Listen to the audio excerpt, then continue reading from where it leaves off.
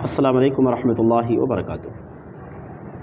अल्हम्दुलिल्लाह कफ़ा वसलाम अला इबादिल्लज़ीन अस्तफ़ा अम्मा बाद मुअज़्ज़ज़ नाज़रीन रमज़ानुल मुबारक सीरीज़ की बरावी नशिस्त आपकी खिदमत में हाज़िर है और मौजू है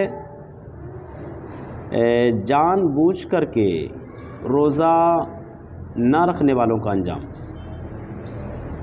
मुस्नद अबी आला की रवायत है। रावी हदीस अब्दुल्ला इब्न अब्बास रज़ी अल्लाह ताला बयान करते हैं कि अल्लाह के नबी जनाब सल्लल्लाहु अलैहि वसल्लम ने इरशाद फरमाया कि इस्लाम की बुनियाद तीन चीज़ों पर है। वो तीन अहकाम, तीन अमाल ऐसे हैं जिनको बुनियादी मकाम हासिल है। उनमें से कलम शहादत, दूसरा फ़र्ज़ नमाज़ और तीसरा रमज़ानुल मुबारक के रोज़े। अल्लाह के नबी ने इरशाद फरमाया, जो भी शख्स इन तीनों में से किसी एक का भी वो इनकार करे, किसी एक की भी नाकदरी करे, चाहे कल में शहादत की या फ़र्ज़ नमाज़ों की या रमज़ान मुबारक के रोज़ों की। तो अल्लाह के नबी जनाब मोहम्मद रसोल्ला वसम ने इरशाद फरमाया कि ऐसा शख्स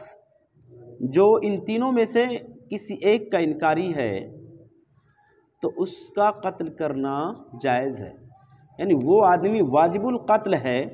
जो इन तीनों बुनियादी चीज़ों में से किसी एक चीज़ का मुनकर है, किसी एक चीज़ का इनकारी है किसी एक चीज़ की अगर नाकदरी करता है, चाहे कल में शहादत की या नमाज़ की या